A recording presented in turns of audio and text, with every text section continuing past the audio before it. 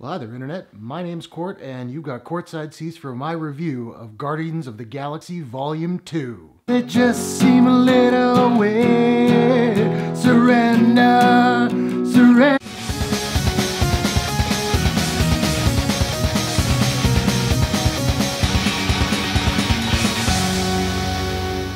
Guardians Volume 2 is director James Gunn's follow up to the original flick, which came out back in 2014. The movie was based on a fairly little known property, and it really took the world by storm, being an incredibly funny and fun ride. It also made a superstar out of Chris Pratt. Now, I, want to go on record before we get any further to say that I don't remember the first one very well at all. I saw it when it came out, and I haven't seen it since. I've been meaning to, I just kind of haven't. For instance, I didn't remember the character of Nebula at all. In this flick, through context in this movie, I realized that I guess she was a pretty major villain in the first movie, but I don't remember. So Volume 2 offers a lot of what the what made the first movie great. Like I said, it's really funny, it's a lot of fun, it's an absolute thrill ride, and it does have some dramatic beats as well. It's not all goofy, goofy jokes. As you may have uh, figured out from when I serenaded you earlier, the movie's got a great soundtrack, and Cheap Trick Surrender is on it. I, you can have that as the only song in the soundtrack, and it would still be like the best soundtrack ever. So the basic plot of this movie, or at least where it kicks off, you know, I'm going fairly non-spoilery here, but where it kicks off is the Guardians have been hired by this planet called the Sovereign, and they have these like really elaborate, powerful batteries that are worth millions of, I don't know, credits. And the Guardians have to protect it from some kind of super alien monster thing. It's a great opening sequence. It was a lot of fun. I'm going to be saying it's a lot of fun a lot throughout this video because it's a, it's a, it's a lot of fun.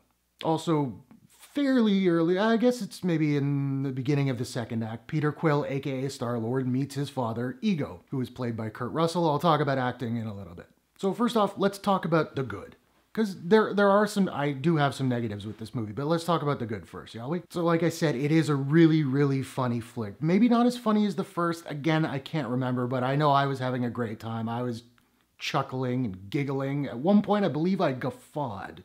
The movie looks absolutely beautiful. The CG is great. Rocket Raccoon looks fantastic as good or better than he did in the first one. Drax continues to be my favorite character. He was making me laugh, and he actually had a couple of dramatic moments, a couple dramatic beats, and Dave Bautista like handled them really quite well. I was I was really impressed with what he could do.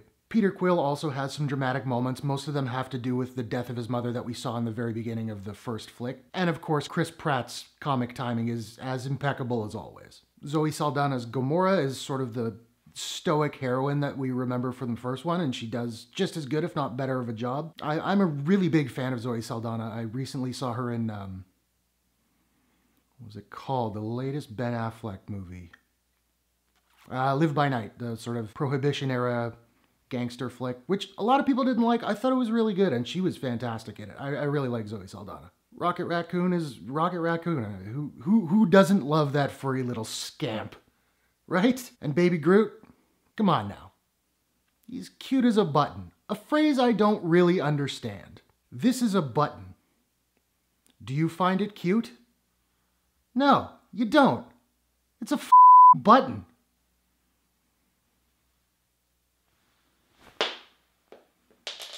I'm sorry for yelling. I'm a passionate guy, what can I say? Like I said, I, I didn't remember Nebula from the first flick. And, and maybe part of that is because the actress who plays Nebula, Karen Gillan, I didn't know who that was when I saw the first movie. Now I'm familiar because I saw her last week in that movie, The Circle, and I'll leave a link in the description to the review I did of that movie. Uh, spoiler alert, don't see it. But she was she was absolutely one of the standouts in The Circle, and somehow I completely neglected to mention her in my review. Um, and it's I feel bad about it. It's a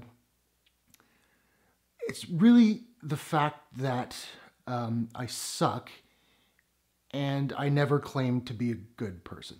But she's great in this movie. She was actually my favorite performance in, in Guardians 2.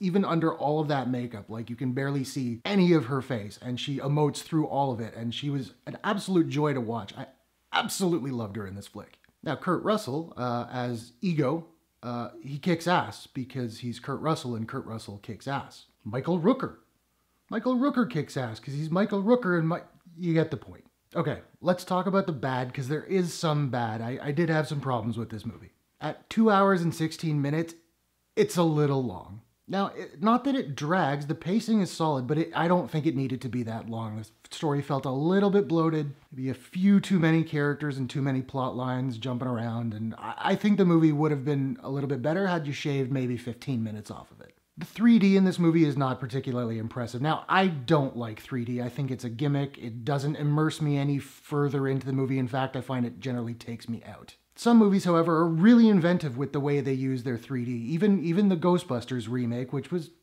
not very good. They did a cool thing where the beams from the proton packs actually, you know, the, the movie's like this, and then there's the black bars at the top and the bottom, right? The beams actually went into that negative space, which I thought was really cool. That was doing something different. This movie doesn't do anything different. The 3D doesn't really add to it, and I would say, unless you're a massive fan of 3D, it's not really worth paying the extra money. So yeah, the movie's a bit busy, it's a bit long, but it's a lot of. See, I told you. It's a lot of fun it's a really good time. It's it's thrilling, and yeah, I'm looking forward to part three. James Gunn has said he's going to make a trilogy. I will say, given the final act of this movie, I don't know how you would up the stakes, but you know, I'll leave it up to James Gunn. It's why I don't get paid the big bucks. Go forth and crush, Jamie. Why am I condescending to James Gunn? He's better than I am. Now, I don't have a proprietary rating system as of yet, so uh what am I to give Guardians Volume 2? Um, I'm not really into sodomy, but I love Gamora. So I'm to give Guardians of the Galaxy Volume 2 Gamora with a smidgen of Sodom out of 10. So what did you think of Guardians Volume 2? Did you like it? Did you hate it? Were you offended by my rating? Whatever your thoughts, hit the comments below and let's discuss. If you enjoyed this review, please like it and share it. Really totally helps me build this channel. And if you'd like to subscribe, you can do so by clicking the Courtshake logo that'll be popping up at the bottom right of your screen anytime now. Thanks very much for watching. I'll see you guys in the next one. Take care.